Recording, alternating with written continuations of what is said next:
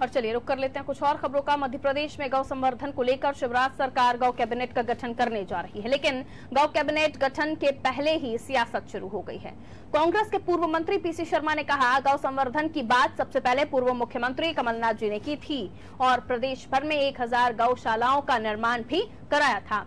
पंद्रह साल की भाजपा सरकार को तब क्यों नहीं गौ माता की याद आई?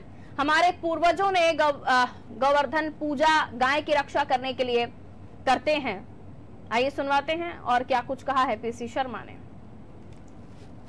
गो संवर्धन की अगर किसी ने बात की है तो कमलनाथ जी ने की है, एक हज़ार गौशालाएँ मदद बनाई। ये पंद्रह साल इनकी सरकार रही, तब इनको ध्यान क्यों नहीं आया? लेकिन हमारा ये कहना है कि देर आए, दुरुस्त आए, पर जो स्कीम बनी है गौ संवर्धन की, उसको आगे बढ़ाएँ। और हमारे देश में, हमारे पूर्वजों ने इसीलिए गोवर्धन पूजा होती है दिवाली के आसपास, कि ये गौ की रक्षा करना है। पर ये उसमें पूरी तरह से फेल हुए थे। उम्मीद है इनकी जो नई कैबिनेट बनी है, ये कुछ करे।